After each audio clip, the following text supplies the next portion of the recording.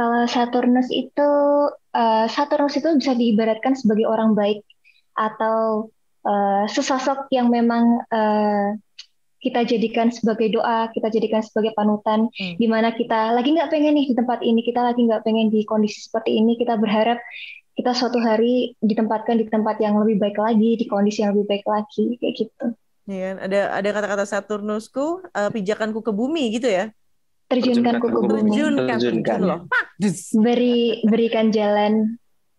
Uh, apa namanya seperti seperti ingin lepas dari uh, iya. toxic sesuatu. gitu gitu ya iya mungkin. Yeah. atau overthinking atau apalah sesuatu yang memang yang sedang kita geluti